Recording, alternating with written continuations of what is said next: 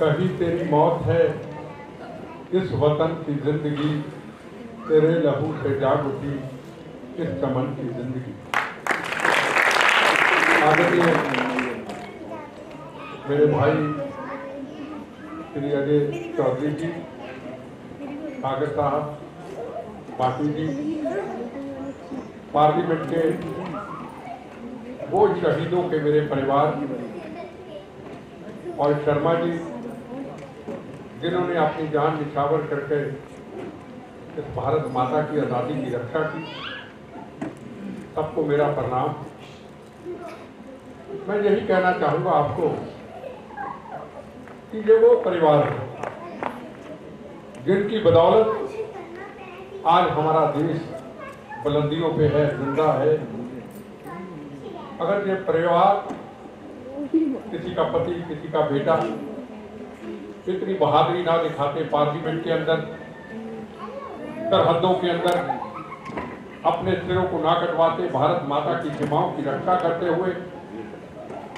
तो शायद देश का नक्शा पता नहीं क्या होता हम पॉलिटिशियन बड़े बड़े चैनलों पे रोज बहस करना तो जानते हैं। तू तू मैं मैं करना तो जानते हैं। तू तू मैं मैं से शुरू होता है और फिर तू मैं मैं में खत्म हो जाता है। पर जो जवान शहीद होता है, उसके परिवार में क्या गुजरती है?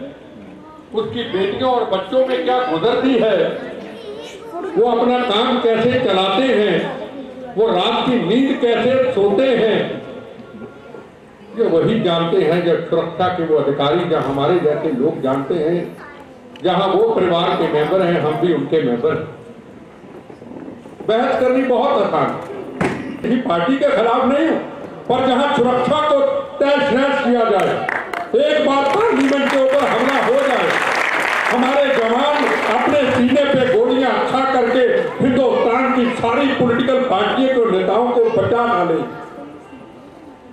तो ये हमें सुरक्षा की कमियाँ बताएँगे कि ये सुरक्षा की कमियाँ हैं और फेसबुक पे डालेंगे जो सीधा आईएस आईएस और आईएस आई पाकिस्तान में और पाकिस्तान की फौज आतंकवादियों के पास चली जाएगी कश्मीर के अंदर।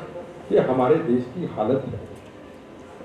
और रात को जब टीवी देखा, क्या कह रहे थे? चैनल वालों को? अरे हमको लोगों ने चुन भेजा है। अरे लोगों ने चुन भेजा है तो लोगों की समस्याओं की पार्लियामेंट के अंदर चर्चा करो। पार्लियामेंट हिंदुस्तान के संविधान के मंदिर ने क्या बिगाड़ा है कि दोबारा उसके ऊपर हमला करने की साजिश हो? ये आप नक्शा देने जा रहे ये हिंदुस्तान की तस्वीर है हमारे नेता।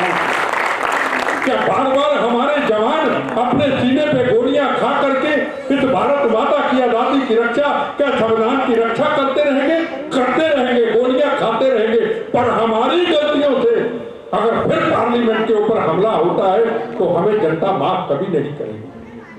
हम भी देखते हैं सुरक्षा की कमियाँ होती है। हमारे ऊपर इतने बम चले, गोलियाँ चली, क्यों चले? सुरक्षा की कहीं ना कहीं कमियाँ थी।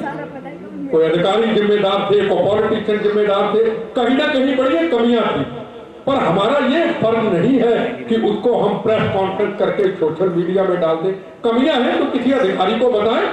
कमियाँ हैं तो किसी होम मिनिस्टर को जाके हम बताएँ।